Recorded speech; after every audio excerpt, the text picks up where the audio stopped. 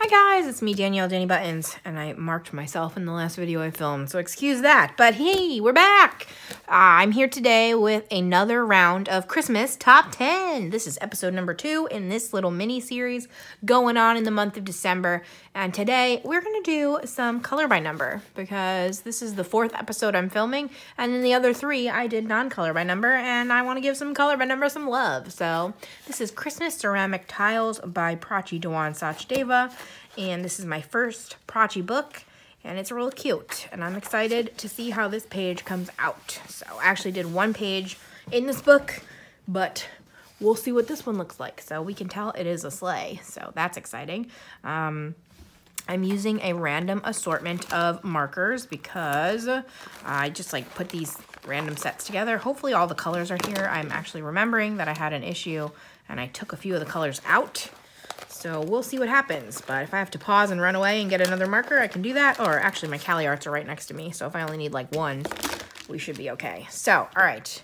I always forget the order of the browns, though. So dark brown is one, and I already don't see a dark brown. What's going on here? I don't have any browns.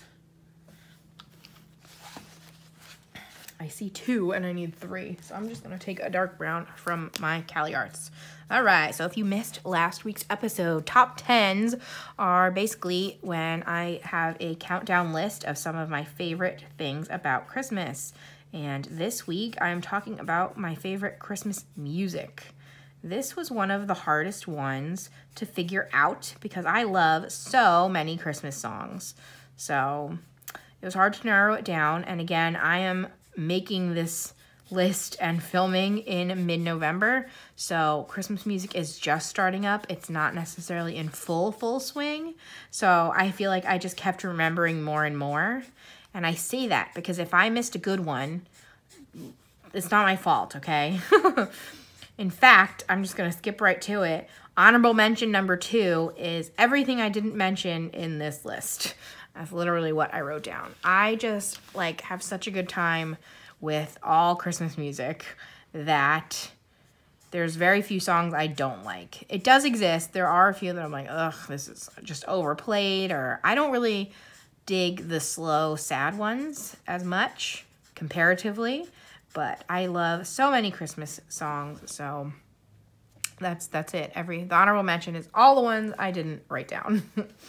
so number my other honorable mention, honorable mention number two, which I guess is number one, if we're going backwards, is actually a whole album, and it is Christmas with the Rat Pack, and I am obsessed. So Christmas with the Christmas with the Rat Pack is Frank Sinatra, Dean Martin, and Sammy Davis Jr., and it is my favorite CD, and really the only CD I still own and play, and I love all of it, and a lot of the songs are on here, or a few. I actually only, I think I only picked one that's officially, I've only heard on Christmas with the Rat Pack, but some of these songs, like they do their own versions of. I don't know. It's a whole thing.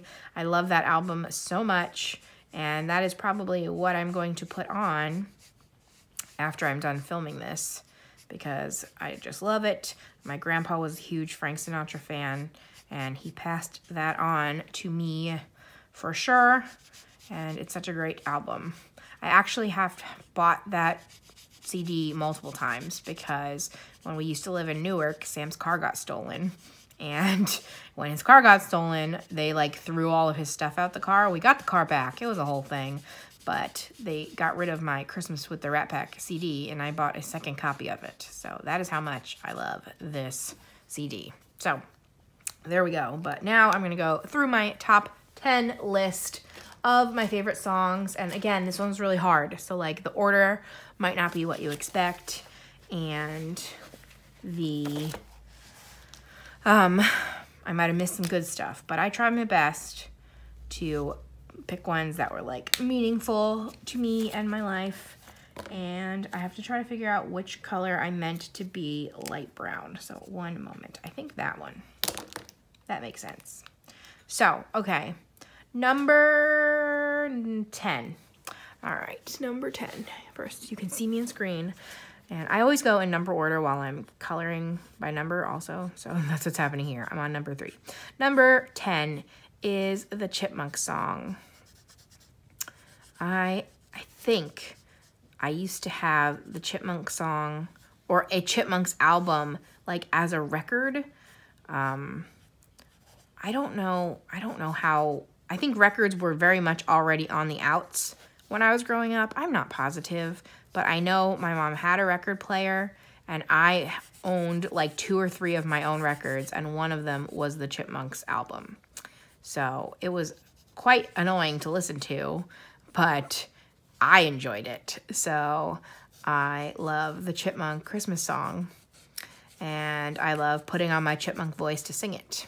So I think I might link some of these down below. I can't tell, like I'm pretty sure everyone knows the Christmas, I mean the chipmunk song, but sometimes I can't tell which ones of these are like niche and which ones are super popular. So maybe I'll try to link some of them down below. I don't know. I'm also filming really early and I don't know when I'm going to actually upload and edit and all that stuff. So we'll see. But if I didn't link it and you don't know what some of these are and you want links, let me know in the comments. So I love singing the Christmas song and um, I'm definitely a Simon, except I'm short. So I have like the attitude of a Simon and the body of a Theodore.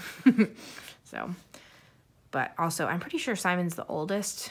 I like, there's a lot of things in threes, and like me and my cousins, two cousins, are very close. So we always like assign ourselves to things of threes. So I am the oldest, and I am the nerdiest, but I am the shortest. So I'm a Simon. But anyway, that is number 10. Number nine, I also realized the ones on these lists, the ones I could like think of without having to actually listen, are a lot of the more fun ones. And that's why, again, my honorable mention is everything else because I definitely love a lot of songs, but they just didn't like pop into my head. Number nine, though, is a fun one, and it is Grandma Got Run Over by a Reindeer.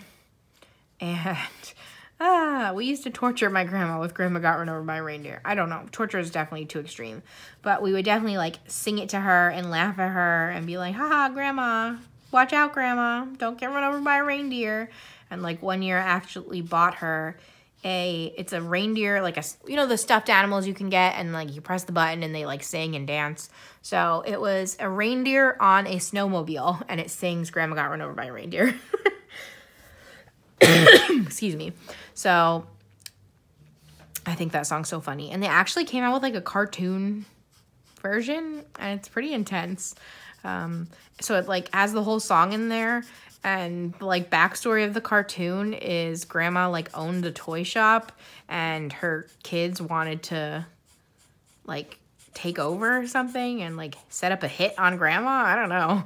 But luckily grandma comes back at the end. It's a spoiler but i don't want anybody to worry about grandma. So but we love that song and especially the toy and the memories of bothering my grandma about it and thinking it was hysterical. So that is number nine. Number eight is the song that I picked from Christmas with the Rat Pack to talk about. And it is I've Got My Love to Keep Me Warm. And I think in the Christmas with the Rat Pack, it is the Dean Martin version and it's song number one. And I don't know. I just, again, all of them on that album make me so happy. But I thought that was a unique one that I don't hear too often outside of this version, I feel like some Christmas songs, and rightfully so, are just like so remade because they're classics. So that like so many different artists do renditions, but I don't think there are too many versions of I've Got My Love to Keep Me Warm. And it's one that gets stuck in my head and I'll just like sing the same few lines on repeat. And I'm not going to do that to you now because it won't come out great. This is the second video I'm filming. My voice is already going, so not going to put the, you through that, but just know it's my fave. It's a good time. And you should, again, look up the whole Christmas with the Rat Pack CD. If you haven't, you can tell your Alexas if to play it if you have, like, Amazon Music. Oh, no. Cancel. Canceling. I thought I was quiet enough, but I was not. She heard me. So, but you can tell her to play the album, and she will. So, that's a good way to hear it after this. I'm, I'm trying to sell you on it. Like, I got stock in this album. No, I don't. That'd be funny, though. Um, yeah, so that's that. Number seven, I can't explain to you. So this one, when I was just looking, I like had to, well, I didn't have to, but I looked up a list of a bunch of great Christmas songs to pick which ones I wanted on my list. And when this one came on list, I was like, oh, absolutely. I love this. This song's great. And it is What Christmas Means to Me by Stevie Wonder. But just hearing that title, I can't tell you what the song is. I know that they use it in tons of commercial, and it's like, wish you a Merry Christmas, baby. So there was my terrible singing. Didn't mean for that to happen. But I love that song a lot. And it like is very joyous and always makes me feeling jolly. So that song is my number six. And it was a surprise to me because I can't even tell you without hearing it, the words, but when the words are on, I jam. I jam out. And it also comes up a lot on She Who Must Not Be Named when I just play generic music. It'll pop up all the time, and I, like I said, I just jam out to it. And it brings lots of joy. So that is why it's number six. Okay, I think I'm going a little bit too fast. This is what I was expecting. Well, not expecting, but this is what has happened in three of the four episodes that I have filmed, but in the tradition episode last week, I actually was really slow. Like it was very well paced.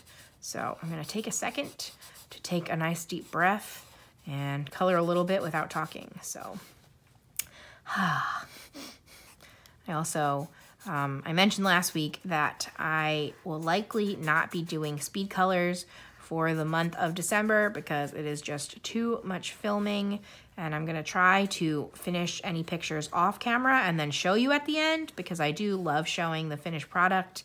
Like, I feel if you spent all this time with me that you should see the ending. So, uh, I don't know. I can't tell if this page will get done entirely on camera or if we're going to have to insert a little clip at the end. But if you saw last week, I managed to finish the whole thing on camera. But it was also a 38 minute video, but it just worked out that way, you know? So the idea is we're gonna go as long as the list needs. Ooh, I went over the lines. Whoopsie doodle. Also, I have not sat and not talked, so that's cool. I'm gonna take a sip of my water.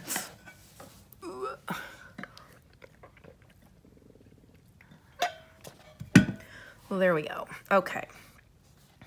Oops, and now I just covered my list off to the side. Let's do a few more fours and relax. Ah.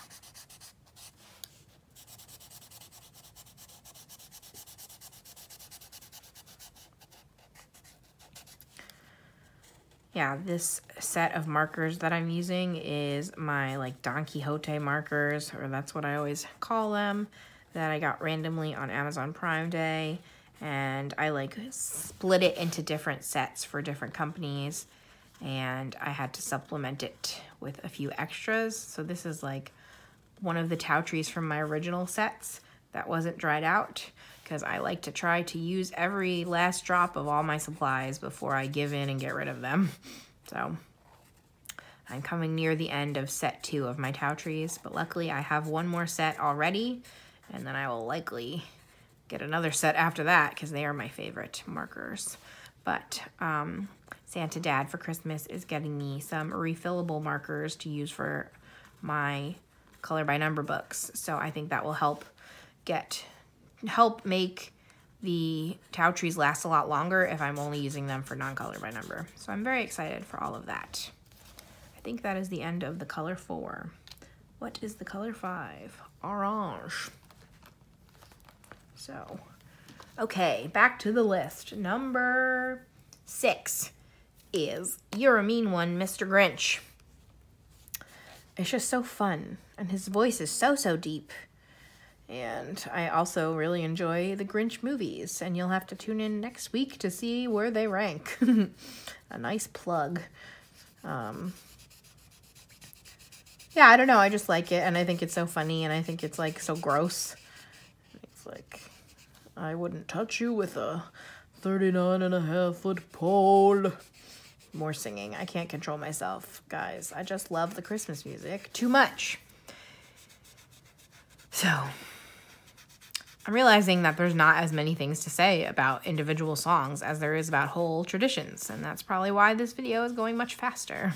But, um, the Grinch is a fun one, and I always love it when it randomly comes on the radio. I feel like it's not too popular on the radio, so I always get extra excited, and I'm like, ooh.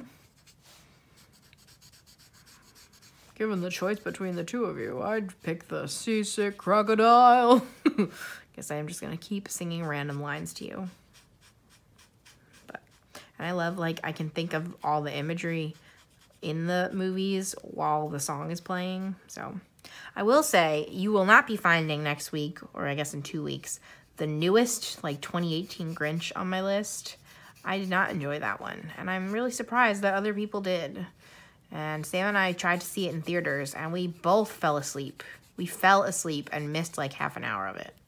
So, yikes. I will likely not even try again because I have two good Grinches to watch. So I don't need to worry about that Grinch. But I don't know if that's a surprise. So, but yes. Number five. Ooh, this is a good one. This one I like a lot. It's I Want a Hippopotamus for Christmas. See, this is one of the ones that I'm like, okay, is this widely known? Is this something that less and less people know about? I think it's an older one, and I'm pretty sure my grandma introduced me to this one. But I hear it sometimes on the radio. I think there are some remakes that we've heard, so maybe it's gaining popularity again but I love it. And because of it, I love getting hippopotamus like items for Christmas. I actually have a shirt that says I want a hippopotamus for Christmas. And last year I got a squishmallow that's a hippo. And I think I have an ornament too. But I just think hippos are super cool. They're one of my favorite land critters because I like all the big boys for land critters. Um, so hippos are up there on the list because they big boys. And yeah, mostly that. So I want a hippopotamus for Christmas is a favorite. And I love to belt that one out. And I'll like put my She Who Must Not Be Named on full blast. And I'll just like traipse around the house screaming I want a hippopotamus. So that's what you would deal with if you lived with me. so all right, number six. Also, my stomach just made a really large sound. And as usual, don't know if you heard it or if you did not, and I just pointed it out for no reason. But that is my constant battle with stomach gurgles because I don't want to not point it out and you do hear it and you're like, oh, yikes, what was that? But then also, now that I did point it out, maybe you'll be listening harder. I have no idea how good this microphone is. Probably not that good. But I also usually like up the volume in editing so it's better. So who knows? If I was a better editor, I would have to like edit these things out, but I am not. So we're just gonna have to deal with potential stomach gurgling. I did not yet have any food today, and that's probably what's going on. Shouldn't film before eating. But, okay. What number is next on here?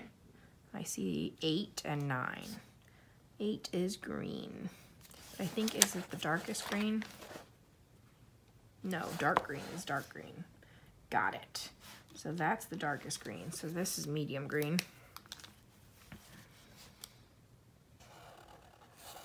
That's pretty dark too. But all right.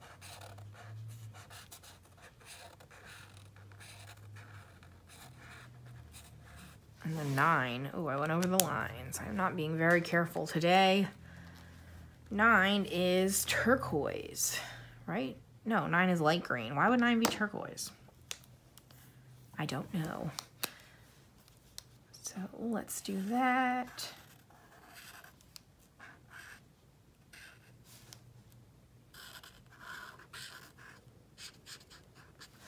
And I don't see 10. I don't see 11 or I do see 12. 12 is light blue.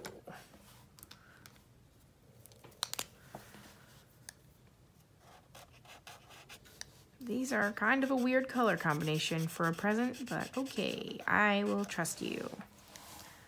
Then 14 is next, which is light purple.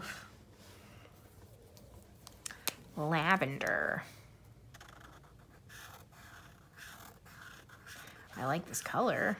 Again, I don't really know what's going on in this present, but sure.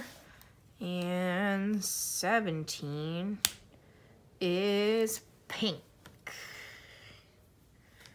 Pink.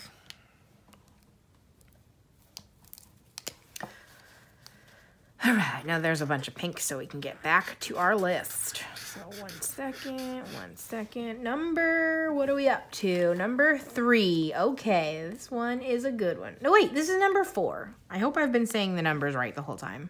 I have not revealed anything I shouldn't have, but I hope I've been saying the right things. So, number four, I love. This one, once I remember that it exists, I will play this on repeat and listen to it a lot. It is Merry Christmas, Happy Holidays by NSYNC. Yes, yes. I actually like sang this song at my bachelorette party. my bachelorette party was like was it a few days after Thanksgiving? I don't know, but I did karaoke and we played this song. And I think we played another song on this list, but I love it. I jam out and it's a classic. It's a perfect song. So if you, again, this one, do people know this one? At this point, NSYNC has been around a long time. And that makes me sad to be like, oh yes, the song from 20 years ago. Like, ugh. But if you have not heard this one, please look this one up. Merry Christmas, Happy Holidays by NSYNC. Wonderful. It's a wonderful feeling. Yes, it is a wonderful feeling. Thank you very much. I will retire now. No, I love it. So that's another one I will likely play right when I'm done here. And that gets stuck in my head. And that's another thing all year round. I'll just be like, Merry Christmas, Sam, and Happy Holidays. So Sam deals with a lot. He's a very patient boy. so, peach. What do we got left? Peach, gray, and dark gray. Okay. So I guess this is peach. So that is number four, not number three. Number two, nope, what just happened to me? number three is Baby, It's Cold Outside. So, this song goes through it. And, like, every year, people flip-flop on how they feel about this song. I have always loved it, and I do not think it is an inappropriate song. So, my understanding of this song, if you haven't heard it, it's baby it's um basically this lady's like, "Oh, I, I can't stay." And the guy's like, "Well, it's cold. You should stay." And people have made it seem creepy and that like he's forcing her to stay but I think what I've always understood is the original intention is it was back in the day where women like couldn't stay or they would be very judged. Like that's part of it is like, oh, my mom my mom will be suspicious, my aunt talks a lot and like she shouldn't stay because of society. And at the end, spoiler, she does stay. I think. At the end, they're both like, yeah, you're right, it's cold. So I've always thought of it as like empowering two women and not like creepy. And some people say R wordy, and I don't like that. So I am team. It's a good song, and it has a good meaning behind it. So, and I just think it's a really I like singing it. So I don't know. That's my feelings on that. So you can let me know if you are in the op opposing mindset, but that is always what I've thought it to mean. And a really good song. And that there's a version of that also on Christmas with the Rat Pack.